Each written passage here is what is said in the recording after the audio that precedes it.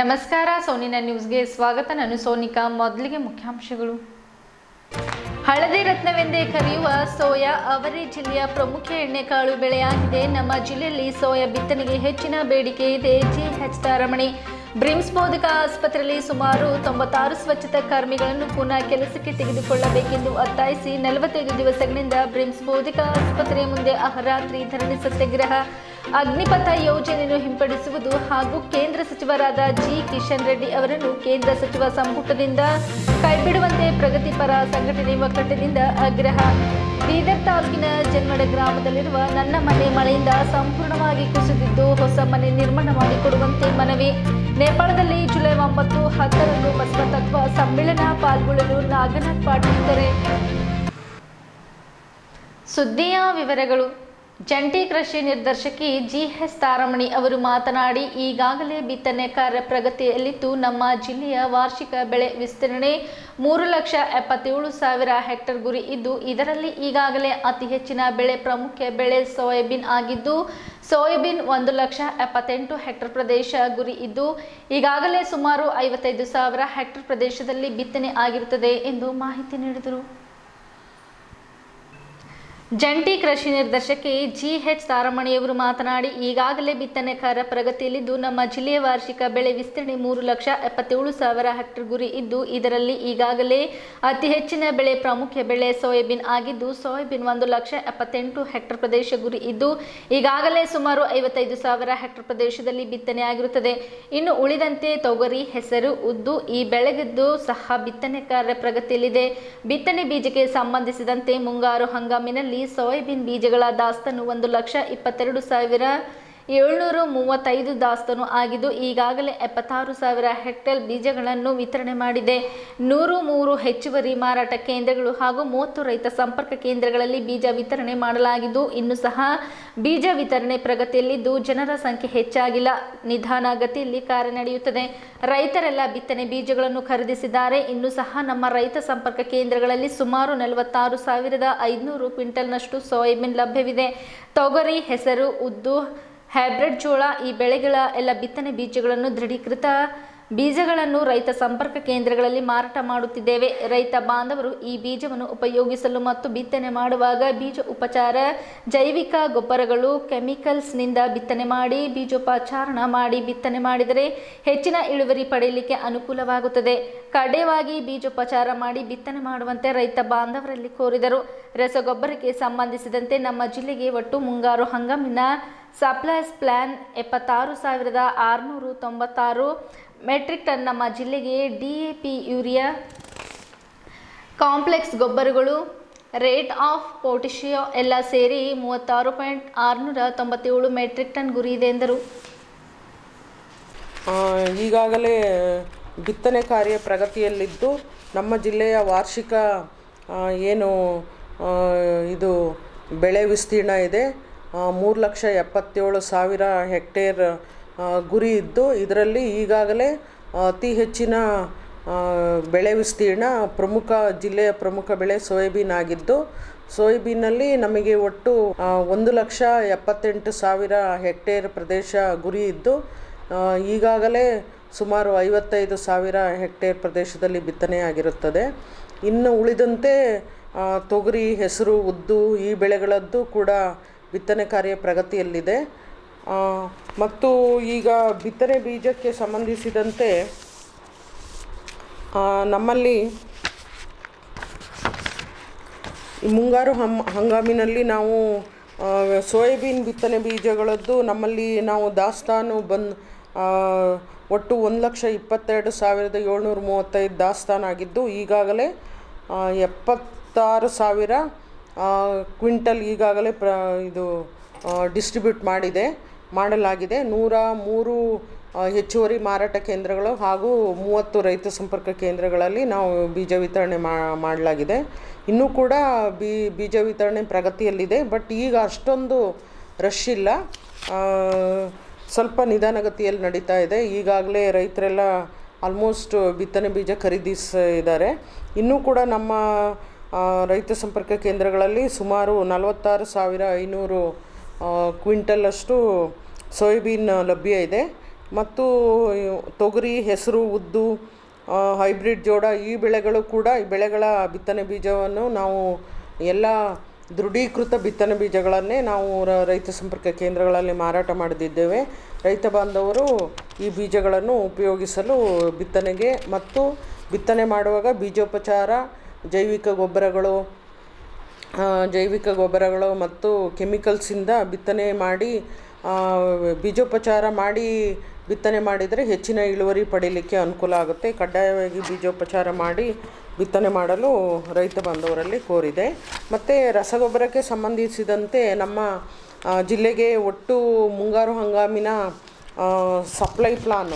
ಈ ಮುಂಗಾರು ಹಂಗಾಮಿಗೆ ಓವರಾಲು ಮೂವತ್ತಾರು ಸಾವಿರದ ಆರುನೂರ ತೊಂಬತ್ತೇಳು ಮೆಟ್ರಿಕ್ ಟನ್ ನಮ್ಮ ಜಿಲ್ಲೆಗೆ D, A, P, urea complex ಗೊಬ್ಬರಗಳು, ಮ್ಯೂರೇಟ್ ಆಫ್ ಪೊಟ್ಯಾಶು ಎಲ್ಲ ಸೇರಿ ಅಷ್ಟು ಮೂವತ್ತಾರು ಸಾವಿರದ ಆರುನೂರ ತೊಂಬತ್ತೇಳು ಮೆಟ್ರಿಕ್ ಟನ್ ನಮಗೆ ಗುರಿ ಇದೆ. ಇದರಲ್ಲಿ ಏಪ್ರಿಲಿಂದ ಜೂನ್ವರೆಗೆ ನಮ್ಮ ಜಿಲ್ಲೆಗೆ ಬರಬೇಕಾಗಿರೋದು ಗೊಬ್ಬರ ಎಪ್ ಇಪ್ಪತ್ತ್ಮೂರು ಸಾವಿರದ ಏಳು, ಇನ್ನೂರ ಹದಿನೈದು ಮೆಟ್ರಿಕ್ ಟನ್ನು. ನಮ್ಮಲ್ಲಿ ಒಂದು ನಾಲ್ಕು ಎರಡು ಸಾವಿರದ ಇಪ್ಪತ್ತೆರಡು ಜೂನ್ ಒಂದು ಏಪ್ರಿಲ್ ಒಂದರಲ್ಲಿ ನಮ್ಮಲ್ಲಿ ಲಭ್ಯ ಇದ್ದ ಲ, ರಸಗೊಬ್ಬರ ದಾಸ್ತಾನು ಏಳು ಸಾವಿರದ ನಾನ್ನೂರ ತೊಂಬತ್ತೊಂಬತ್ತು ಮೆಟ್ರಿಕ್ ಟನ್ನು. ಈಗ ಇವತ್ತಿನವರೆಗೆ ಬಂದಂತಹ ರಸಗೊಬ್ಬರಗಳು ಒಟ್ಟು ಇಪ್ಪತ್ತೊಂದು ಸಾವಿರದ ಎಂಟುನೂರ ಮೂವತ್ತೈದು ಮೆಟ್ರಿಕ್ ಟನ್ ಈಗಾಗಲೇ ಜಿಲ್ಲೆಗೆ ಈ ವರ್ಷ ಏಪ್ರಿಲಿಂದ ಜೂ, ಇವತ್ತಿನವರೆಗೆ ಬಂದಿದೆ. ಇದರಲ್ಲಿ ಡಿ ಎ ಪಿ ನಮಗೆ ಪ್ರಮುಖವಾಗಿ ಡಿ ಎ ಪಿ ಮತ್ತು ಕಾಂಪ್ಲೆಕ್ಸ್ ಗೊಬ್ಬರಗಳನ್ನು ರೈತರು ಹೆಚ್ಚಾಗಿ ಇದು ಬಿತ್ತನೆ ಸಮಯದಲ್ಲಿ ಉಪಯೋಗಿಸೋದ್ರಿಂದ ಡಿ ಎ ಪಿ ನಮಗೆ ಟಾರ್ಗೆಟ್ ಇದ್ದಿದ್ದು ಇಡೀ ಸೀಸನ್ಗೆ ಮುಂಗಾರು ಹಂಗಾಮಿಗೆ ಹದಿನಾಲ್ಕು ಸಾವಿರದ ಇನ್ನೂರ ತೊಂಬತ್ತೆಂಟು ಮೆಟ್ರಿಕ್ ಟನ್ನು. ಏಪ್ರಿಲಿಂದ ಜೂನ್ವರೆಗೆ ಹತ್ತು ಸಾವಿರದ ಏಳ್ನೂರ ಐವತ್ತೊಂಬತ್ತು ಮೆಟ್ರಿಕ್ ಟನ್ ಬರಬೇಕಾಗಿತ್ತು. ಮತ್ತು ಈಗ ಬಂದಿರೋದು ಹನ್ನೊಂದು ಸಾವಿರದ ಆರುನೂರ ಹದಿನಾರು ಬಂದಿದೆ ಆಲ್ರೆಡಿ. ಜೂನ್ ಮಾಹೆಯಲ್ಲಿ ಏನು ಸಪ್ಲೈ ಪ್ಲಾನ್ ಇತ್ತು ಅದಕ್ಕಿಂತ ಆಲ್ಮೋಸ್ಟ್ ಒಂದು ಸಾವಿರ ಮೆಟ್ರಿಕ್ ಟನ್ ಜಾಸ್ತಿನೇ ಬಂದಿದೆ. ಜೊತೆಗೆ ಓಪನಿಂಗ್ ಬ್ಯಾಲೆನ್ಸು ಒಂದು ಸಾವಿರದ ಮೂವತ್ತೆಂಟು metric ton D A P ಇದ್ದು ಇದುವರೆ ಇದುವರೆಗೂ ಒಟ್ಟು ಲಭ್ಯವಿದ್ದ ಡಿ ಎ ಪಿ ಗೊಬ್ಬರ ಹನ್ನೆರಡು ಸಾವಿರದ ಆರುನೂರ ಐವತ್ನಾಲ್ಕು ಅದರಲ್ಲಿ ಈಗಾಗಲೇ ಸುಮಾರು ಒಂಬ, ಒಂಬತ್ತು ಸಾವಿರ ಮೆಟ್ರಿಕ್ ಟನ್ ಖರ್ಚಾಗಿದೆ. ಇನ್ನೂ ನಾವು ನಿನ್ನೆ ಏನು ಕ್ರಿಪ್ಕೋ, ಕ್ರಿ- ಕ್ರಿಪ್ಕೋದು ಕಲಬುರ್ಗಿಯಿಂದ ಬಂದಿತ್ತು. ಏಳ್ನೂರು ಮೆಟ್ರಿಕ್ ಟನ್ ನಮ್ಮ ಜಿಲ್ಲೆಗೆ ನೀಡಿದ್ದಾರೆ. ನಾವು ಈಗಾಗಲೇ ಏನು P K P S society wise allocation ನೀಡಲಾಗಿದ್ದು ಇದರಲ್ಲಿ ಮಾನ್ಯ ಜಿಲ್ಲಾಧಿಕಾರಿಗಳು ಡಿಸ್ಟ್ರಿಕ್ಟ್ ಅಡ್ಮಿನಿಸ್ಟ್ರೇಷನ್ನು ಎಲ್ಲರದ್ದು ಸಹಕಾರದಿಂದ, ಆಮೇಲೆ ಇಲ್ಲಿ ಮಾನ್ಯ ಮಂತ್ರಿಗಳು ಅವರ ಪ್ರಯತ್ನದಿಂದಲೂ ಕೂಡ ರಸಗೊಬ್ಬರ ಆಗಿಂದಾಗ್ಗೆ ಬರುತ್ತಿದ್ದು. ನಾವು ರೈ, ಎಲ್ಲ ರೈತ ಸಂಪರ್ಕ, ಎಲ್ಲ ಸೊಸೈಟಿಗಳಿಗೆ ಹಂಚಿಕೆ ಮಾಡ್ತಾ ಇದ್ದೇವೆ. ಇನ್ನೂ ಕೂಡ ನಾಳೆ ನಮಗೆ ಮತ್ತೆ ಮತ್ತು ನಾಳೆ ನಮಗೆ ಎರಡು ಸಾವಿರದ ಒಂಬೈನೂರು ಟನ್ನು ಯೂರಿಯಾ ಬರ್ತಾ ಇದೆ. ಹಾಗೆ ಈಗಾಗಲೇ KRIBHCO D A P, KRIBHCO D A P ಈ ಯೂರಿಯಾ ಏನು N F L National Fertilizers Limited ಬರ್ತಾ ಇದೆ. ಈ ಯೂರಿಯಾ ನಮ್ಮ ಬೀದರ್ ಜಿಲ್ಲೆಗೆ ನೇರವಾಗಿ ಬರುತ್ತಿದ್ದು, ಅದನ್ನು ಕೂಡ ನಾವು ಎಲ್ಲ ರೈತ ಸಂಪ್ರ, ಎಲ್ಲ ಸೊಸೈಟಿಗಳಿಗೆ ಹಂಚಿಕೆ ಮಾಡ್ತಿದ್ದೇವೆ. ಮತ್ತು ಪ್ರೈವೇಟ್ ಡೀಲರ್ಸ್ ಬೇಡಿಕೆ ಇದ್ದಲ್ಲಿ ಅವ್ರಿಗೂ ಕೂಡ ನೀಡ್ತಿದ್ದೇವೆ. ಆಮೇಲೆ ಈ ಕಾಂಪ್ಲೆಕ್ಸ್ ಇನ್ನೂ ಹತ್ತು, ಇಪ್ಪತ್ತಾರು ಇಪ್ಪತ್ತಾರು ಒಟ್ಟು ಎಂಟುನೂರು ಮೆಟ್ರಿಕ್ ಟನ್ನು ನಾಳೆ ಬೆಳಗ್ಗೆ ಕಲಬುರ್ಗಿಗೆ ಬರ್ತಾ ಇದೆ. ಅದನ್ನು ಕೂಡ ನಾವು ಸೊಸೈಟಿಗಳಿಗೆ ನೀಡ್ತಾ ಇದ್ದೇವೆ. ಬಟ್ ಸೊಸೈಟಿಗಳಲ್ಲಿ ಏನು ಕೇಳ್ತಾರೆ? ಬರೀ ಡಿ ಎ ಪಿ ಮಾತ್ರ ಕೇಳ್ತಾರೆ. ಕಾಂಪ್ಲೆಕ್ಸ್ ಗೊಬ್ಬರಗಳು ಬೇರೆ ಕೊಡ್ತೀವಿ, ಹತ್ತು, ಇಪ್ಪತ್ತಾರು ಇಪ್ಪತ್ತಾರು ತೊಗೊಳ್ಳಿ, ಬೇಕಾ ಬೇಡ ನಮಗೆ, ರೈತರು ಕೇಳೋದಿಲ್ಲ, ತೊಗೊಳಲ್ಲ ಅಂತ ಹೇಳ್ತಾರೆ. ಬಟ್ ದಯಮಾಡಿ ವಿನಂತಿ, ಸೊಸೈಟಿಗಳು ಏನು ರಸಗೊಬ್ಬರ ನಮ್ಮ ಜಿಲ್ಲೆಗೆ ಆ್ಯಕ್ಚುಲಿ ಬೇಕಾಗಿರೋದು, ಇಲ್ಲಿ ಕ್ರಾಪಿಂಗ್ ಪ್ಯಾಟ್ರನ್ ಇರೋದು ನೋಡಿದ್ರೆ ಸೋಯಾ, ಹೆಸರು, ಉದ್ದು ತೊಗರಿ ಬೆಳೆಗಳಿಗೆ ಕಡ್ಡಾಯವಾಗಿ ಬೇಕಾಗಿರೋದು ಕಾಂಪ್ಲೆಕ್ಸ್ ಗೊಬ್ಬರಗಳು. ಇಪ್ಪತ್ತು ಇಪ್ಪತ್ತು, ಸೊನ್ನೆ, ಹದಿಮೂರು ಒಳ್ಳೆಯ ಕಾಂಪ್ಲೆಕ್ಸ್ ಗೊಬ್ಬರ. ಮತ್ತು ಉಳಿದ ಕಾಂಪ್ಲೆಕ್ಸ್ ಗೊಬ್ಬರಗಳನ್ನು ಉಪಯೋಗಿಸ್ಬೇಕು. ಆದರೆ ಇಲ್ಲಿ ಬರೀ D only D A P ಮಾತ್ರ ಕೊಡಿ ಅಂಥೇಳಿ ಕೇಳ್ತಾರೆ. ಹಾಗಾಗಿ ಡಿ ಎ ಪಿ ಮಾತ್ರ ಹೆಚ್ಚಿನ, ಅದನ್ನು ಪ್ರಮೋಟ್ ಮಾಡದಲೇ ಬೇರೆ ಕಾಂಪ್ಲೆಕ್ಸ್ ಗೊಬ್ಬರಗಳನ್ನು ರೈತರಿಗೆ ಮನವರಿಕೆ ಮಾಡಿ, ಈಗಾಗಲೇ ನಾವು ಅದ್ರ ಬಗ್ಗೆ ಒಂದು ಪಾಂಪ್ಲೆಟ್ಟು ಲೀಫ್ಲೆಟ್ ಎಲ್ಲ ಹೊರಡಿಸಿದ್ದೀವಿ ಇದ್ರ ಬಗ್ಗೆ ಕನ್ವಿನ್ಸ್ ಮಾಡಿ, ದಯಮಾಡಿ ಸೊಸೈಟಿಗಳಿರ್ಬೋದು ಡೀಲರ್ಸ್ ಪ್ರೈವೇಟ್ ಡೀಲರ್ಸ್ ಇರ್ಬೋದು ರೈತರಿಗೆ ಕಾಂಪ್ಲೆಕ್ಸ್ ಗೊಬ್ಬರನೂ ಕೂಡ ಅದರದ್ದು ಮಹತ್ವ ಇಂಪಾರ್ಟೆನ್ಸು ಯಾವ ರೀತಿ ಹೆಚ್ಚಿನ ಇಳುವರಿ ಪಡೀಲಿಕ್ಕೆ ಅನುಕೂಲ ಆಗುತ್ತೆ, ಗಂಧಕದ ಪಾತ್ರ ಏನು ಮೈಕ್ರೋನ್ಯೂಟ್ರಿಯೆಂಟ್ಸು ಲಘು ಪೋಷಕಾಂಶಗಳ ಜಿಂಕ್ ಸಲ್ಪೇ ಸಲ್ಫೇಟ್ ಇರ್ಬೋದು, ಆಮೇಲೆ ಗಂಧಕ ಏನು ಗಂಧಕ ತುಂಬ ಪ್ರಮುಖವಾಗಿ ಪಾತ್ರ, ಪ್ರಮುಖ ಪಾತ್ರ ವಹಿಸುತ್ತೆ. ಎಣ್ಣೆಯ ಅಂಶ, ಸೋಯಾಬೀನ್ ಬೆಳೆಯಲ್ಲಿ ಎಣ್ಣೆ ಅಂಶ ಮತ್ತು ಪ್ರೋಟೀನ್ ಅಂಶ ತೊಗರಿ ಹೆಸರು ಉದ್ದಲ್ಲಿ ಜಾಸ್ತಿ ಮಾಡಲಿಕ್ಕೆ ತುಂಬ ಅನುಕೂಲ ಆಗುತ್ತೆ. ಹಾಗಾಗಿ ಎಲ್ಲ ಸೊಸೈಟಿ ಸೊಸೈಟಿ ಸೆಕ್ರೆಟ್ರೀಸಲ್ಲಿ ಮತ್ತು ಪ್ರೈವೇಟ್ ಡೀಲರ್ಸಲ್ಲೂ ನಾವು ಮನವಿ ಮಾಡ್ತೇವೆ. ರೈತರಿಗೆ ಮನವರಿಕೆ ಮಾಡಿ ಕಾಂಪ್ಲೆಕ್ಸ್ ಗೊಬ್ಬರಗಳನ್ನು ಮೂವ್ ಮಾಡಬೇಕು. ಆಮೇಲೆ ಡಿ ಎ ಪಿನೂ ಕೊಡ್ತೀವಿ. ಡಿ ಎ ಪಿನೂ ಕೂಡ ಇನ್ನೂ ಕ್ರಿಪ್ಕೋದು ಎರಡು ಸಾವಿರದ ಏಳ್ನೂರು ಮೆಟ್ರಿಕ್ ಟನ್ ನಮ್ಮ ಜಿಲ್ಲೆಗೆ ನಾಡಿದ್ದು ಬರ್ತಾ ಇದೆ. ಯಾವುದೇ ರಸಗೊಬ್ಬರದ ಏನು ಅರೈವಲ್ ಬಂದು ಬಂದಂಗೆ ನಾವು ಸೊಸೈಟಿಗಳಿಗೆ ಸೊಸೈಟಿಗಳಿಗೇ ಹೆಚ್ಚಾಗಿ ನೀಡ್ತಾ ಇದ್ದೇವೆ. ಹಾಗಾಗಿ ಈ ರಸಗೊಬ್ಬರಗಳನ್ನು ರೈತ ಬಾಂಧವರು ಮತ್ತು ಬಿತ್ತನೆ ಬೀಜ ಗುಣಮಟ್ಟದ ಬಿತ್ತನೆ ಬೀಜ ಉಪಯೋಗಿಸಿ ಒಳ್ಳೆ ಈಗ ಮಳೆ ಈಗೊಂದು ನಾಲ್ಕೈದು ದಿನದಿಂದ ಒಳ್ಳೆ ಮಳೆ ಬರ್ತಾ ಇರೋದರಿಂದ ಈ ಸಕಾಲ ಆಗಿದೆ. ಬಿತ್ತನೆ ಮಾಡಲಿಕ್ಕೆ ರೈತ ಬಾಂಧವರು ತಾಳ್ಮೆಯಿಂದಿದ್ದು ನಾವು ಏನು ರಸಗೊಬ್ಬರ ಬಂದು ಬಂದಂಗೆ ತಗೊಂಡು ಅದನ್ನು ಬಿತ್ತನೆ ಮಾಡಬೇಕು ಅಂತ ಹೇಳ್ತಾ ಈ ಯಾರೂ ಕೂಡ ಆತಂಕಕ್ಕೆ ಒಳಗಾಗಬಾರ್ದು ರೈತ ಬಾಂಧವರು ಅಂತ ನಾವು ಮನವಿ ಮಾಡ್ತೀವಿ. ಕರ್ನಾಟಕ ದಲಿತ ರಕ್ಷಣಾ ವೇದಿಕೆ ವತಿಯಿಂದ ಬ್ರಿಮ್ಸ್ ಬೌದ್ಧಿಕ ಆಸ್ಪತ್ರೆಯ ಮುಂದೆ ಸುಮಾರು ನಲವತ್ತೈದು ದಿವಸಗಳಿಂದ ಅಹರಾತ್ರಿ ಧರಣಿ ಹಾಗೂ ಡಾಕ್ಟರ್ ಬಿಆರ್ ಅಂಬೇಡ್ಕರ್ ವೃತ್ತದಲ್ಲಿ ಬೃಹತ್ ಪ್ರತಿಭಟನೆ ಮಾಡುವ ಮೂಲಕ ಸುಮಾರು ಎರಡು ವರ್ಷಗಳ ಕಾಲ ಬ್ರಿಮ್ಸ್ ಬೌದ್ಧಿಕ ಆಸ್ಪತ್ರೆಯಲ್ಲಿ ಸೇವೆ ಸಲ್ಲಿಸಿದ ಸುಮಾರು ಎಂಬತ್ತು ಜನ ಮಹಿಳಾ ಸ್ವಚ್ಛತಾ ಕರ್ಮಿಗಳನ್ನು ಮತ್ತು ಹದಿನಾರು ನೈರ್ಮಲ್ಯ ಸ್ವಚ್ಛತಾ ಕರ್ಮಿಗಳಿಗೆ ಹಾಗೂ ಟೆಂಡರ್ದಾರರಿಗೆ ಯಾವುದೇ ಮಾಹಿತಿ ನೀಡದೆ ಫೆಬ್ರವರಿ ಇಪ್ಪತ್ತೆಂಟು, ಎರಡು ಸಾವಿರದ ಇಪ್ಪತ್ತೆರಡರಂದು ಏಕಾಏಕಿಯಾಗಿ ನಾಳೆಯಿಂದ ಕೆಲಸಕ್ಕೆ ಬರಬೇಡಿ ಎಂದು ಬಡ ಕಾರ್ಮಿಕರನ್ನು ಬೀದಿಪಾಲು ಮಾಡಿದ್ದು ಎಷ್ಟು ಸರಿ ಎಂದು ಕರ್ನಾಟಕ ದಲಿತ ರಕ್ಷಣಾ ವೇದಿಕೆಯ ಜಿಲ್ಲಾಧ್ಯಕ್ಷ ಅಂಬದಾಸ್ ಗಾಯಕ್ವಾಡ್ ಆಕ್ರೋಶ ವ್ಯಕ್ತಪಡಿಸಿದರು. ಕೋವಿಡ್ ನೈನ್ಟೀನ್ನಂತಹ ಮಹಾಮಾರಿ ಸಮಯದಲ್ಲಿ ತಮ್ಮ ಪ್ರಾಣವನ್ನು ಕೈಯಲ್ಲಿ ಹಿಡಿದುಕೊಂಡು ಪ್ರಾಣದ ಹಂಗನ್ನು ತೊರೆದು ಕೊರೋನಾ ರೋಗಿಗಳ ಆರೈಕೆ ಮಾಡಿ ಅತಿ ನಿಷ್ಠೆಯಿಂದ ಆಸ್ಪತ್ರೆಯ ಸ್ವಚ್ಛತೆ ಕೆಲಸವನ್ನು ಮಾಡಿದಂತಹ ಈ ಬಡ ಕಾರ್ಮಿಕರಿಗೆ ಇವಾಗ ದಿಕ್ಕು ತೋಚದಂತಾಗಿ ಕರ್ನಾಟಕ ದಲಿತ ರಕ್ಷಣಾ ವೇದಿಕೆಯಿಂದ ಇವರುಗಳನ್ನು ಪುನಃ ಕೆಲಸಕ್ಕೆ ತೆಗೆದುಕೊಳ್ಳುವಂತೆ ಒತ್ತಾಯಿಸಿ ಮೇ ಒಂಬತ್ತರಿಂದ ಬ್ರಿಮ್ಸ್ ಬೋಧಕ ಆಸ್ಪತ್ರೆ ಮುಂದೆ ಅಹರಾತ್ರಿ ಧರಣಿ ಸತ್ಯಾಗ್ರಹವನ್ನು ಹಮ್ಮಿಕೊಳ್ಳಲಾಗಿದ್ದು, ಇದೀಗ ನಲವತ್ತೈದು ದಿವಸಗಳು ಕಳೆದರೂ ಈ ಸತ್ಯಾಗ್ರಹ ಮುಂದುವರೆದಿದೆ. ಆದರೆ ಜಿಲ್ಲಾಡಳಿತವಾಗಲಿ, ಬ್ರಿಮ್ಸ್ ಆಡಳಿತವಾಗಲಿ ಧರಣಿ ಸತ್ಯಾಗ್ರಹದ ಸ್ಥಳಕ್ಕೆ ಬಂದು ಯಾವುದೇ ರೀತಿಯಾದಂತಹ ಕ್ರಮ ಕೈಗೊಳ್ಳದೆ ಕೇವಲ ಉಡಾಫೆ ಉತ್ತರ ಕೊಡುವುದರಲ್ಲಿ ತಲ್ಲಣ್ಯರಾಗಿದ್ದಾರೆ ಸುಮಾರು ಎರಡ್ನೂರ ಐವತ್ತು ಹಾಸಿಗೆಯುಳ್ಳ ಆಸ್ಪತ್ರೆಗೆ ಒಟ್ಟು ತೊಂಬತ್ತೊಂಬತ್ತು ಜನ ಕೆಲಸ ನಿರ್ವಹಿಸುತ್ತಿದ್ದು, ಇವಾಗ ಬ್ರಿಮ್ಸ್ ಬೋಧಕ ಆಸ್ಪತ್ರೆಯಾಗಿ ಮಾರ್ಪಟ್ಟಿದ್ದು ಸುಮಾರು ಏಳ್ನೂರ ಐವತ್ತು ಹಾಸಿಗೆ ಇದ್ದು, ಈ ಹಳೆಯ ತೊಂಬತ್ತೊಂಬತ್ತು ಜನ ಸ್ವಚ್ಛತಾ ಕರ್ಮಿಗಳು ಮಾತ್ರ ಇಲ್ಲಿ ಹಗಲು ರಾತ್ರಿ ಎನ್ನದೇ ಕೆಲಸ ನಿರ್ವಹಿಸಿದರೂ ಸ್ವಚ್ಛತೆ ಮಾಡುವುದರಲ್ಲಿ ತುಂಬ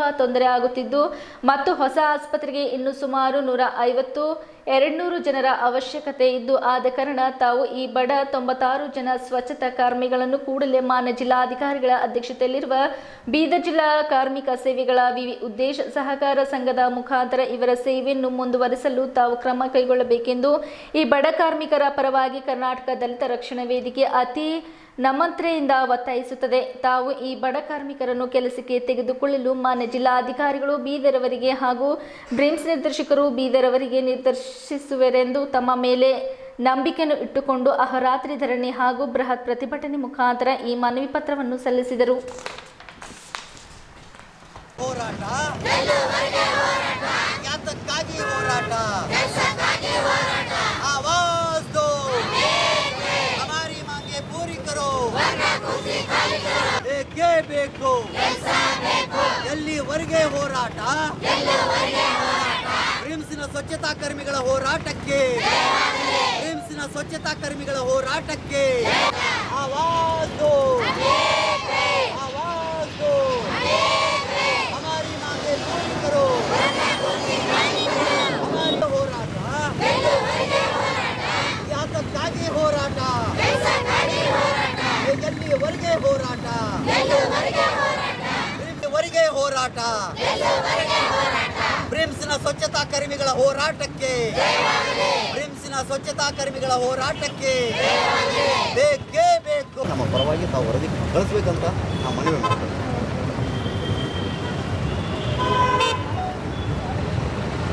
ಈ ನೋಡಿ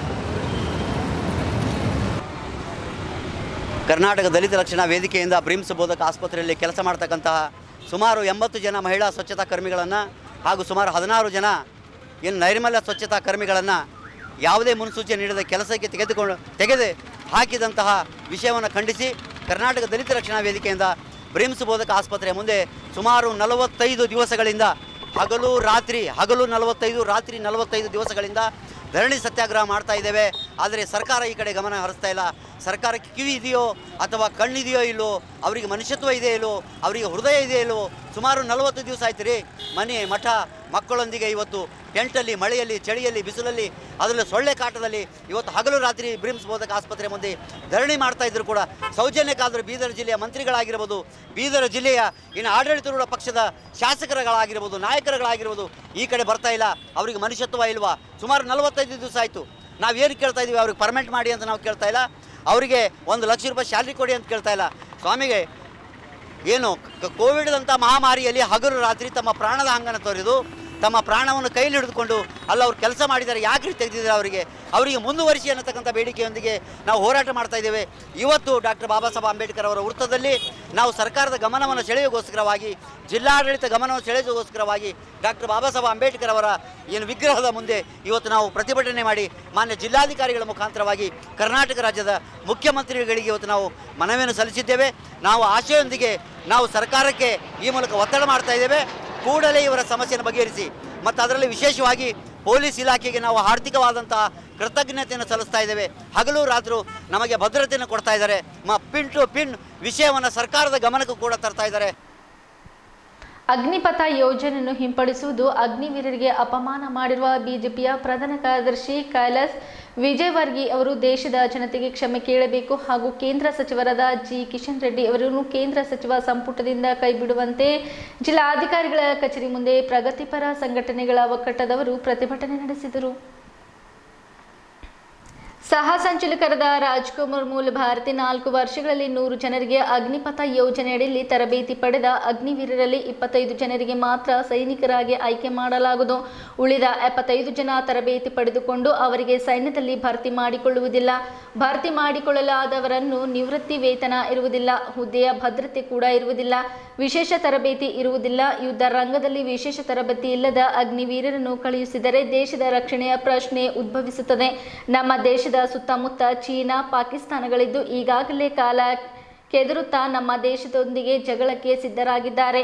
ಹಿಂದೂ ಮಹಾಸಾಗರದಲ್ಲಿ ಸೈನಿಕರ ಕ್ಯಾಂಪ್ಗಳು ಬೇರೆ ದೇಶದವರು ನಿರ್ಮಿಸಿರುತ್ತಾರೆ. ಇಂತಹ ಪರಿಸ್ಥಿತಿಯಲ್ಲಿ ದೇಶದ ಸುರಕ್ಷತೆ ಪ್ರಾಮುಖ್ಯವಾಗಿರುತ್ತದೆ ಎಂದು ಹೇಳಿದರು. ಅದೇ ರೀತಿ ಉಮೇಶ್ ಅರಳಿಕರ್ ಮಾತನಾಡಿ, ಕೇಂದ್ರ ಸರ್ಕಾರವು ಜೂನ್ ಹದಿನಾಲ್ಕರಂದು ಅಗ್ನಿಪಥ ಯೋಜನೆಯನ್ನು ಘೋಷಣೆ ಮಾಡಿರುತ್ತದೆ. ಅಗ್ನಿಪಥ ಯೋಜನೆಯು ಜಾರಿ ಮಾಡಿದರೆ ಈಗಾಗಲೇ ಸೇವೆಯಲ್ಲಿರುವ ಸೈನಿಕರು ನಿರಾಶರಾಗುತ್ತಾರೆ. ಅಗ್ನಿಪಥ ಯೋಜನೆಯಡಿಯಲ್ಲಿ ಆಯ್ಕೆ ಆಗಿರುವ ಅಭ್ಯರ್ಥಿಗಳನ್ನು ಅಗ್ನಿವೀರರೆಂದು ಕರೆಯಲಾಗುವುದೆಂದು ಕೇಂದ್ರ ಸರ್ಕಾರ ಘೋಷಣೆ ಮಾಡಿರುತ್ತದೆ. ಅಗ್ನಿಪಥ ಯೋಜನೆಯನ್ನು ಹಿಂತೆಗೆದುಕೊಳ್ಳಬೇಕು. ಬಿಜೆಪಿ ನಾಯಕರಾದ ಕೈಲಾಸ್ ವಿಜಯವರ್ಗಿ ಅವರನ್ನು ಅಗ್ನಿವೀರರಿಗೆ ಬಿಜೆಪಿ ಕಚೇರಿಯಲ್ಲಿ ಗಾರ್ಡ್ ಕೆಲಸ ಕೊಡುವುದಾಗಿ ಹೇಳಿ ಅವಮಾನಿಸಿದ್ದಕ್ಕೆ ಅವರ ಮೇಲೆ ಕೇಸ್ ದಾಖಲಿಸಬೇಕು. ಕೇಂದ್ರ ರಾಜ್ಯ ಸಚಿವರಾಗಿರುವ ಜಿ ಕಿಶನ್ ರೆಡ್ಡಿ ಅವರು ಅಗ್ನಿವೀರರ ಸೇವೆಯಿಂದ ಹೊರಬಂದ ಬಳಿಕ ಅವರುಗಳಿಗೆ ವಾಹನ ಚಾಲನೆ, ಎಲೆಕ್ಟ್ರಿಷಿಯನ್, ಪ್ಲಬ್ಬರಿಂಗ್ ಹಾಗೂ ಕ್ಷೌರಿಕರ ತರಬೇತಿ ನೀಡಲಾಗುವುದೆಂದು ಹೇಳಿ ಅಗ್ನಿವೀರರನ್ನು ಅವಮಾನಿಸಿದ್ದಾರೆ. ಆದ್ದರಿಂದ ಕೇಂದ್ರ ಸಚಿವ ಜಿ ಕಿಶನ್ ರೆಡ್ಡಿರವರನ್ನು ಕೇಂದ್ರ ಸಚಿವ ಸಂಪುಟದಿಂದ ವಜಾ ಮಾಡಬೇಕು. ಬಿಜೆಪಿ ಮುಖಂಡರೊಬ್ಬರು ಬಿಜೆಪಿ ಕಚೇರಿಯಲ್ಲಿ ಭದ್ರತಾ ಸಿಬ್ಬಂದಿ ನೇಮಕ ಮಾಡಿಕೊಳ್ಳುವ ಸಂದರ್ಭ ಬಂದರೆ ಅಗ್ನಿವೀರರಿಗೆ ನಾನು ಆದ್ಯತೆ ನೀಡುತ್ತೇನೆ ಎಂದು ಹೇಳಿ ಅಗ್ನಿವೀರರಿಗೆ ಅವಮಾನ ಮಾಡಿರುತ್ತಾರೆ.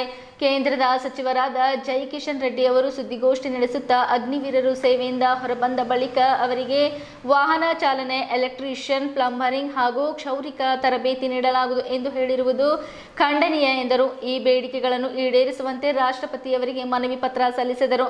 ಈ ಸಂದರ್ಭದಲ್ಲಿ ಸಹ ಸಂಚಾಲಕರಾದ ವಹಿದ್ ಲಖನ್ ಮಾರುತಿ ಬೌದ್ದೆ ಬಾಬುರಾವ್ ರಾಜ್ಕುಮಾರ್ ಮೂಲಭಾರತಿ, ಅಲಿ ಅಹಮದ್ ಖಾನ್, ಶೇಖ್ ಅನ್ಸಾರಿ, ಮುಸಿಬರ್ ಸಿಂಧೆ, ಸೋಮನಾಥ್ ಪಂಚಾಳ್, ನಜೀರ್ ಅಹಮದ್ ಶ್ರೀ ದಿನೆ ರಮೇಶ್ ಕಾಂಟೆಖರ್ ಮಾಣಿಕ್ರಾವ್ ಖಾನಾಪುರ್, ಅರುಣ್ ಪಾಟೀಲ್ ಎಂ ಡಿ ಶಫಿಯತ್ ಅಲಿ, ರಾಜ್ಕುಮಾರ್ ಗೂನಳ್ಳಿ, ಶಿವರಾಜ್ ಕಮಠಣ ಶಿವಕುಮಾರ್ ನೀಲಿಕಟ್ಟಿ ಹಾಗೂ ಇನ್ನಿತರರು ಇದ್ದರು. ಪ್ರಗತಿಪರ ಸಂಘಟನೆಗಳ ಒಕ್ಕೂಟದಿಂದ ಸಾಂಕೇತಿಕವಾಗಿ ಒಂದು ಈ ರಾಜ್ಯ ಸರ್ಕಾರ ಮತ್ತು ಕೇಂದ್ರ ಸರ್ಕಾರಕ್ಕೆ ಒಂದು ಪ್ರತಿಭಟನೆ ಮಾಡುವುದರ ಮುಖಾಂತರ ಎಚ್ಚರಿಕೆಯನ್ನು ನೀಡ್ತಾ ಇದ್ದೀವಿ. ಗೆಳೆಯರೆ, ಇವತ್ತೇನು ಇವತ್ತೇನು ಅಗ್ನಿಪಂಥ ಅಂದ್ಕಸಿ ಹೇಳೇನೇನು ಸಹ ಏನು ಆಯ್ಕೆ ಏನಂದರೆ ಮಿಂಟ್ರಿ ಇದರಲ್ಲಿ ಆಯ್ಕೆ ಮಾಡುವ ಅಭ್ಯರ್ಥಿಗಳನ್ನು ಇವತ್ತೇನು ವ್ಯವಸ್ಥಿತವಾಗಿ ಏನು ಹಿಂದಿಂದೇನೋ ಸುತ್ತಲುಗಳನ್ನು ತೆಗೆದುಬಿಟ್ಟು ಇವರು ಮನಸ್ಸು ಬಂದಪ್ಲೆ ಅಂತಂದರೆ ಅದರಲ್ಲಿ ಎಲ್ಲ ಏನು ನಾಲ್ಕು ವರ್ಷ ಒಳಗಡೆ ಅವ್ರದ್ದು ಎಲ್ಲನೇ ಸೆಲೆಕ್ಷನ್ ಭೀ ಆಗಬೇಕು ಅವ್ರದ್ದು ರಿಟೈರ್ಮೆಂಟ್ ಭೀ ಆಗ್ಬೇಕನ್ನೋಂಥ ದಿಕ್ಕಿಲ್ಲನ್ನು ನೋಡಿದಾಗ ಈ ಸರ್ಕಾರ, ಕೇಂದ್ರ ಸರ್ಕಾರ ಯಾವ ದಿಕ್ಕಿನಲ್ಲಿ ವ್ಯವಸ್ಥೆನ ನಮ್ಮ ಏನು ದಲಿತ ಹಿಂದುಳಿದ ಅಲ್ಪಸಂಖ್ಯಾತರನ್ನ ಯಾವ ಥರ ತುಳಿಬೇಕನ್ನೋದ ದಿಕ್ಕಿನಲ್ಲಿ ಇವತ್ತು ನಡೀತದೆ ಅನ್ನೋದಂದ್ರು ಇದು ಒಂದೇ ಉದಾಹರಣೆ ಅಂತ ಹೇಳ್ಬೇಕಾಗಿದೆ ಗೆಳೆಯರೆ. ಯಾಕಪ್ಪ ಅಂತ ಕಸಿ ಹೇಳಿದರೆ ಇವತ್ತಿನ ದಿನ ಇವತ್ತು ಮಿಂಟ್ರಿ ಮಿಂಟ್ರಿ ಅಂತಂದರೆ ಎಲ್ಲ ದಲಿತ ಹಿಂದುಳಿದ ಅಲ್ಪಸಂಖ್ಯಾತರು ಕೆಳ ಹಂತದ ವರ್ಗದ ಜನನೇ ಇವತ್ತು ಆ- ಮಿಂಟ್ರಿ ಒಳಗಡೆ ಸೇರಿರುವುದರಿಂದ ಅದು ಉನ್ನತ ಹುದ್ದೆಗಳಲ್ಲೆಲ್ಲ ನೋಡಿದಾಗ ಬೇರೆ ಬೇರೆ ಜನರ. ಅವ್ರಿಗೆ ಭೀ ಹೇಳಬೇಕಲ್ಲಪ್ಪ, ನಾಲ್ಕೇ ವರ್ಷ ಇರಬೇಕು ನೀವು, ನಾಲ್ಕು ವರ್ಷ ಬಂದು ನೀವು ಮನೆಗೆ ಹೋಗ್ಬೇಕಂತ ಹೇಳ್ಬೇಕಲ್ಲ. ಆ ಸರಕ, ಈ ಸರ್ಕಾರ ಇದ್ರ ಜೊತೆ ಇನ್ನೊಂದು ಏನು ಮಾಡಿದೆಯಪ್ಪ ಅಂತ ಹೇಳಿದ್ರೆ, ಒಂದು ಎರಡು ಲಕ್ಷ ಎರಡು ಲಕ್ಷ ಆಲ್ರೆಡಿ ಹಿಂದೆ ಆಲ್ರೆಡಿ ಏನು ಆರು ತಿಂಗಳ ಮಧ್ಯದಲ್ಲಿ ಎಲ್ಲ ಅರ್ಜಿಗಳನ್ನು ಕರೆದುಬಿಟ್ಟು, ಮೆಂಟ್ರಿ ಇದೆಲ್ಲ ಅರ್ಜಿಗಳೆಲ್ಲ ಕರೆದುಬಿಟ್ಟು ಅದರಲ್ಲಿ ಆ ಅರ್ಜಿಯನ್ನು ಸೆಲೆಕ್ಷನ್ ಮಾಡ್ಕೊಂಬ ದಿಕ್ಕಿನಲ್ಲಿ ತಿಗೋತ ಆ ಸೆಲೆಕ್ಷನನ್ನು ಅಲ್ಲೇ ಕೈ ಬಿಟ್ಟು ಈ ಜನರನ್ನು ಈಗ ನಾಲ್ಕು ವರ್ಷ ಒಳಗಡೆ ಅಂದ್ರೆ ಹದಿನೈದರ ಹದಿನೇಳರ ಒಳಗಡೆನೆ ಇವರೆಲ್ಲ ಪಿ ಯು ಸಿ ಎಲ್ಲ ಮುಗಿದಿರಬೇಕು. ಆ ಮುಗಿದ ಒಳಗಡೆ ಹದಿನೇಳರ ಒಳಗಡೆ ಅಂದರೆ ಇಪ್ಪತ್ತೊಂದರ ಒಳಗಡೆ ಇವರೆಲ್ಲನೇ ಏನದಂತಂದರೆ ಆ ಮಿಂಟ್ರಿಗೆ ಹೋಗ್ಬಿಡೋಣ ಏನದಂದ್ರೆ ಏನು ಇವತ್ತೇನು ದೇಶದಲ್ಲಿ. ಇವತ್ತು ಆತಂಕವಾದ ಅಥವಾ ಏನೋ ಭಯೋತ್ಪಾದಕ ಅಂತ ಹೇಳ್ತಿದಾರೆ ಭಯೋತ್ಪಾದಕರು ಯಾರಿಲ್ಲ ಈ ನಮ್ಮ ಈ ಈ ಈ ನಾಲ್ಕು ವರ್ಷ ಒಳಗಡೆ ಈ ನಮ್ಮ ಜನರಲ್ಲಿ ಅಲ್ಲಿ ಮಿಂಟ್ರಿ ಒಳಗಡೆ ಕಳಿಸ್ಬಿಟ್ಟು ಇವರನ್ನು ಮುಗಿಸೋ ದಿಕ್ಕಿನಲ್ಲಿ ಈ ಕೇಂದ್ರ ಸರ್ಕಾರನ ಹೊಂಚಾಕಿದೆ ಗೆಳೆಯರೆ. ತುರಿಯಲ್ಲಿ ತಂದು ಇಡೀ ದೇಶದ ಜನತೆಗೇನು ಪ್ರಾಬ್ಲಮ್ ಮಾಡ್ತಾ ಇದೆಯಲ್ಲ N R C C A ಇರ್ಬೋದು, ಹಿಜಾಬ್ ಇರ್ಬೋದು, ಮತ್ತು ಈಗ ಅಗ್ನಿಪಥ್ ಅಂತಕ್ಕಂಥದ್ದು ಏನು ವಿಷಯಗಳ ಕುರಿತು ಎಲ್ಲ ನಿರುದ್ಯೋಗಿ ಆಗಿರ್ಬೋದು, ಮತ್ತು ಕೂಲಿ ಕಷ್ಟ ಮಾಡ್ತಕ್ಕಂಥ ಎಲ್ಲ ವ್ಯಕ್ತಿಗಳಿಗೆ ನೀವು ದಿನೇ ದಿನೇ ಇಲ್ಲೋದರ ಪ್ರಾಬ್ಲಮ್ ಕ್ರಿಯೇಟ್ ಮಾಡಿಲ್ಲದ್ರೆ ಈ ದೇಶದಲ್ಲಿ ಅಶಾಂತಿ ಉಂಟು ಮಾಡ್ತಕ್ಕಂಥ ಈ ಬಿ ಜೆ ಪಿ ಸರ್ಕಾರ. ಇವತ್ತು ಮತ್ತೆ ಹೊಸದೊಂದು ಯೋಜನೆಯನ್ನು ಜಾರಿ ಮಾಡ್ತು. ಆ ಅಗ್ನಿಪತ್ ಅಂದ್ರೆ ಯಾವುದಪ್ಪ ಅಂತ ಜನರಿಗೆ ಇನ್ನೂ ಸ್ವಲ್ಪ ಗುರುತೇ ಇಲ್ಲ. ಆ ಅಗ್ನಿಪಥನ್ನು ತರ್ತಾ ಇದ್ದಾರೆ. ಯಾಕಂತಂದ್ರೆ ಇವರು ದಿನೇ ದಿನೇ ಗುರ್ತದ. N R C C A ತಂದಾಗ ನೆಮ್ಮದಿ ಖರಾಬ್ ಮಾಡಿದ್ರು. ಮತ್ತು ಈಗ ಎಲ್ಲೋದ್ರೆ ಹಿಜಾಬ್ ತಂದರು, ಅದು ಒಂದು ನೆಮ್ಮದಿ ಇದು ಮಾಡಿದ್ರು. ಈಗ ಇದು ಯಾವುದದ ಅಗ್ನಿಪಥ್ ಅಂತಂದರೆ ಮುಸ್ಲಿಮು ಮತ್ತು ದಲಿತ ಮೈನಾರಿಟಿಗಳನ್ನು ಓಟ್ ಹೊಡಿಬೇಕು. ಅವ್ರಿಗೆ ಡಿಸ್ಟರ್ಬ್ ಮಾಡಿ ನಾವುಗಳನ್ನು ಸಾಲಿಡಾಗಿ ನಾವೇನು ಮೇಲ್ಜಾತಿ ವರ್ಗದವರು, ಆರ್ ಎಸ್ ಎಸ್ ಸಂಘ ಪರಿವಾರ ಓಟ್ಗಳನ್ನು ನಿರಂತರವಾಗಿ ಅವಕನ್ನು ಸೆಳ್ಕೊಂಡು ಇವರು ಡಿಸ್ಟರ್ಬ್ ಮಾಡಿ ನಾವಿಲ್ಲದ್ರೆ ಅಧಿಕಾರಕ್ಕೆ ಬರಬೇಕು ಮುಂದಿನ ಚುನಾವಣೆಯಲ್ಲಿ. ಸೊ ಇದನ್ನು ಹೊಸ ಹೊಂಚು, ಸಂಚನ್ನು ರೂಪಿಸ್ತಾ ಇದೆ. ಇದನ್ನು ನಾವು ತಿರುವಾಗಿ ನಾವು ಖಂಡಿಸಬೇಕಾಗ್ತದೆ. ಬೀದರ್ ತಾಲೂಕಿನ ಜನವಡ ಗ್ರಾಮದಲ್ಲಿದ್ದ ನಿವಾಸಿ ಬಸವರಾಜ್ ತಂದೆ ಭೀಮರಾವ್ ಬಾಲ್ ಹಳ್ಳಿಕರ್ ಅವರ ಮನೆಯ ಮಳೆಯಿಂದ ಸಂಪೂರ್ಣವಾಗಿ ಕುಸಿದಿದ್ದು ಹೊಸ ಮನೆ ನಿರ್ಮಾಣ ಮಾಡಿಕೊಡುವಂತೆ ಮನವಿ ಮಾಡಿಕೊಂಡರು. ನಾನು ಆರ್ಥಿಕವಾಗಿ ಕಡುಬಡತನ ಕುಟುಂಬಕ್ಕೆ ಸೇರಿದ್ದವನಾಗಿದ್ದು ಕೂಲಿ ಕಾರ್ಮಿಕನಾಗಿರುತ್ತೇನೆ. ನನಗೆ ವಾಸಿಸಲು ಇದ್ದ ಮನೆ ಜೂನ್ ಇಪ್ಪತ್ತರಂದು ಸಂಜೆ ಆರು ಮೂವತ್ತು ಗಂಟೆಗೆ ಸುರಿದ ಧಾರಕರ ಮಳೆಯಿಂದ ನನ್ನ ಮನೆ ಕುಸಿದಿರುತ್ತದೆ. ಇವಾಗ ನನಗೆ ವಾಸಿಸಲು ತುಂಬ ಕಷ್ಟವಾಗುತ್ತದೆ ಎಂದರು. ಬಸವರಾಜ್ ತಂದೆ ಭೀಮರಾವ್ ಬಾಲಹಳ್ಳಿಕರ್ ಅವರು ಮೂಲತಃ ಬೀದರ್ ಜಿಲ್ಲೆಯ ಮುಕ್ಮಾ ಜನವಾಡದವರಾಗಿದ್ದು, ಇವರ ಮನೆಯು ಮಳೆಯಿಂದ ಸಂಪೂರ್ಣವಾಗಿ ಕುಸಿದಿದ್ದು ಹೊಸ ಮನೆ ನಿರ್ಮಾಣ ಮಾಡಿಕೊಡುವಂತೆ ಮನವಿ ಮಾಡಿಕೊಂಡರು. ನಾನು ಆರ್ಥಿಕವಾಗಿ ಕಡು ಬಡತನ ಕುಟುಂಬಕ್ಕೆ ಸೇರಿದ್ದವನಾಗಿದ್ದು, ಕೂಲಿ ಕಾರ್ಮಿಕನಾಗಿರುತ್ತೇನೆ. ನನಗೆ ವಾಸಿಸಲು ಇದ್ದ ಮನೆ ಜೂನ್ ಇಪ್ಪತ್ತರಂದು ಸಂಜೆ ಆರು ಮೂವತ್ತು ಗಂಟೆಗೆ ಸುರಿದ ಧಾರಕಾರ ಮಳೆಯಿಂದ ನನ್ನ ಮನೆ ಕುಸಿದಿರುತ್ತದೆ. ಇವಾಗ ನನಗೆ ವಾಸಿಸಲು ತುಂಬ ಕಷ್ಟವಾಗುತ್ತದೆ ಎಂದರು. ಆದ ಕಾರಣ ದಯಾಳುಗಳಾದ ತಾವುಗಳು ಈ ನನ್ನ ಮನವಿಯನ್ನು ಸ್ವೀಕರಿಸಿಕೊಂಡು ನನಗೆ ವಾಸಿಸಲು ಮನೆ ನಿರ್ಮಾಣ ಮಾಡಿಕೊಡಬೇಕೆಂದು ಅತಿ ಕಳಕಳಿಯಿಂದ ವಿನಂತಿಸಿಕೊಂಡರು. ಜುಲೈ ಒಂಬತ್ತು ಮತ್ತು ಹತ್ತರ ಶನಿವಾರ ಮತ್ತು ಭಾನುವಾರದಂದು ಎರಡು ದಿವಸಗಳ ಕಾಲ ನೇಪಾಳ ದೇಶದಲ್ಲಿ ಅಂತಾರಾಷ್ಟ್ರೀಯ ಬಸವ ತತ್ವ ಸಮ್ಮೇಳನ ಆಯೋಜಿಸಲಾಗಿದೆ. ಬೆಂಗಳೂರಿನ ಚನ್ನಬಸವೇಶ್ವರ ಜ್ಞಾನಪೀಠದ ಪೀಠಾಧ್ಯಕ್ಷರಾದ ಪೂಜ್ಯ ಶ್ರೀ ಚನ್ನಬಸವನಂದ ಸ್ವಾಮೀಜಿ ಅವರ ಅಧ್ಯಕ್ಷತೆ ಹಾಗೂ ದಿವ್ಯ ಸಾನ್ನಿಧ್ಯದಲ್ಲಿ ಲಿಂಗಮಾತೆ ಮಹಾದೇವಿ ಅವರ ಸಂಕಲ್ಪದಂತೆ ಸಮ್ಮೇಳನ ಜರುಗಲಿದೆ. ಬಸವ ಭಕ್ತರು ಹೆಚ್ಚಿನ ಸಂಖ್ಯೆಯಲ್ಲಿ ಪಾಲ್ಗೊಂಡು ಯಶಸ್ವಿಗೊಳಿಸಬೇಕೆಂದು ಸಮ್ಮೇಳನ ಸಮಿತಿಯ ಪ್ರಧಾನ ಕಾರ್ಯದರ್ಶಿಗಳಾದ ನಾಗನಾಥ್ ಪಾಟೀಲ್ ತಿಳಿಸಿದ್ದಾರೆ. ಬೆಂಗಳೂರಿನ ಚನ್ನಬಸವೇಶ್ವರ ಜ್ಞಾನಪೀಠದ ಪೀಠಾಧ್ಯಕ್ಷರಾದ ಪೂಜ್ಯ ಶ್ರೀ ಚನ್ನಬಸವನಂದ ಸ್ವಾಮೀಜಿಯವರ ಅಧ್ಯಕ್ಷತೆ ಹಾಗೂ ದಿವ್ಯ ಸಾನ್ನಿಧ್ಯದಲ್ಲಿ ಮಾತೆ ಮಹಾದೇವಿಯವರ ಸಂಕಲ್ಪದಂತೆ ಸಮ್ಮೇಳನ ಜರುಗಲಿದೆ. ಪೂಜೆ ಚನ್ನಬಸವನಂದ ಸ್ವಾಮೀಜಿಯವರು ಈಗಾಗಲೇ ಮುಂಬೈ, ದೆಹಲಿ, ಪುಣೆ ಹಾಗೂ ಚೈನಾ ಸೇರಿದಂತೆ ಹಲವು ಕಡೆಗಳಲ್ಲಿ ಬಸವಧರ್ಮ ಸಮ್ಮೇಳನ ಆಯೋಜನೆ ಮಾಡಿದ ಅನುಭವ ಅವರಿಗಿದೆ. ಈಗ ಅವರ ಸಾನ್ನಿಧ್ಯದಲ್ಲಿ ನೇಪಾಳದಲ್ಲಿ ಪ್ರಥಮ ಬಾರಿಗೆ ಅಂತಾರಾಷ್ಟ್ರೀಯ ಬಸವ ತತ್ವ ಸಮ್ಮೇಳನ ನಡೆಯುತ್ತದೆ ಎಂದು ಪಾಟೀಲ್ ತಿಳಿಸಿದ್ದಾರೆ. ಜಿಲ್ಲೆಯಿಂದ ವಿವಿಧ ಮಠಾಧೀಶರಿಗೂ ಆಹ್ವಾನ ನೀಡಲಾಗಿದೆ. ಅಲ್ಲದೆ ಈಗಾಗಲೇ ತೆಲಂಗಾಣ ಮತ್ತು ಕರ್ನಾಟಕದಿಂದ ಸುಮಾರು ಐದುನೂರಕ್ಕೂ ಹೆಚ್ಚು ಬಸವ ಭಕ್ತರು ವಿಮಾನ ಹಾಗೂ ರೈಲ್ವೆ ಟಿಕೆಟ್ ಬುಕ್ ಮಾಡಿದ್ದಾರೆ. ಕವಿ ಸಿದ್ದಯ್ಯ ಪುರಾಣಿಕರು ಹೇಳುವಂತೆ ಬಸವನ ಬೆಳಕೆ ಎಲ್ಲೆಡೆ ಬಂದೆ, ಭಾರತವೆಲ್ಲ ಸುತ್ತಾಡಿ ಬಂದೆ, ಎಲ್ಲಿಗೆ ಮುಂದೆ ಎಲ್ಲಿಗೆ ಮುಂದೆ ವಿಶ್ವವೆಲ್ಲವೂ ನನ್ನದೇ ಎಂದು ಎಂಬಂತೆ ಇಂದು ವಿಶ್ವದಂತ ಬಸವ ತತ್ವ ಪ್ರಚಾರ ಮಾಡುವ ಅಗತ್ಯವಿದೆ. ಜುಲೈ ಒಂಬತ್ತರಂದು ಬೆಳಿಗ್ಗೆ ಹತ್ತು ಗಂಟೆಗೆ ಕಾರ್ಯಕ್ರಮದ ಉದ್ಘಾಟನೆ. ಎಂಟುನೂರ ತೊಂಬತ್ತೊಂಬತ್ತನೇ ಬಸವ ಜಯಂತಿ ಆಚರಣೆ ಜುಲೈ ಹತ್ತರಂದು ಚಿಂತನಗೋಷ್ಠಿ, ಅನುಭವ ಹಾಗೂ ಸಮರೂಪ ಸಮಾರಂಭ ಜರುಗಲಿದೆ ಎಂದು ತಿಳಿಸಿದ್ದಾರೆ. ನೇಪಾಳದ ವೀರಗಂಜಿನಲ್ಲಿರುವ ರಾಣಿಸತಿ ಮಂದಿರ ಭವನದಲ್ಲಿ ಕಾರ್ಯಕ್ರಮ ಜರುಗಲಿದೆ. ಹೈದರಾಬಾದ್, ಪುಣೆ, ಮುಂಬೈ, ಸೋಲಾಪುರ್ನಿಂದ ಬರುವವರಿಗೆ ವಿಮಾನದ ಮೂಲಕ ಹಾಗೂ ರೈಲ್ವೆ ಮೂಲಕ ಬರುವ ಸೌಕರ್ಯವಿದೆ ಬಿಹಾರದ ಪಟ್ನಾ ಹಾಗೂ ಗೋರ್ಖಾಪುರವರೆಗೆ ಬಂದರೆ ಅಲ್ಲಿಂದ ನೇಪಾಳದ ವೀರಗಂಜ್ ಕೇವಲ ಎರಡುನೂರು ಕಿಲೋಮೀಟರ್ ಇದೆ. ಅಲ್ಲಿಂದ ರಕ್ಸಲ್ವರೆಗೆ ರೈಲ್ವೆ ಹಾಗೂ ಬಸ್ ಸೌಲಭ್ಯವಿದೆ. ಇಲ್ಲಿಂದ ಕೇವಲ ಐದು ಕಿಲೋಮೀಟರ್ ಕಾರ್ಯಕ್ರಮ ನಡೆಯುವ ಸ್ಥಳವಿದೆ. ಅಲ್ಲಿಂದ ರಿಕ್ಷಾ ಅಥವಾ ಟಾಂಗ ಮೂಲಕ ಬರಬಹುದು. ಸಮ್ಮೇಳನದ ಖರ್ಚು ವೆಚ್ಚ ಇರುವುದರಿಂದ ಪ್ರತಿನಿಧಿಸಲು ಮೂರು ಸಾವಿರ ಭರಿಸಿ ಭಕ್ತರು ತನ್ನು ಮನ ಧನದಿಂದ ಸಹಕರಿಸಬೇಕೆಂದು ನಾಗನಾಥ್ ಪಾಟೀಲ್ ಮನವಿ ಮಾಡಿಕೊಂಡಿದ್ದಾರೆ. ಇಲ್ಲಿವರೆಗೆ ಸುದ್ದಿ ಕೊಟ್ಟಿದ್ದು ನಾನು ಸೋನಿಕಾ. ಮುಂದಿನ ಸುದ್ದಿಯೊಂದಿಗೆ ಮತ್ತೆ ಭೇಟಿಯಾಗೋಣ. ವಂದನೆಗಳು.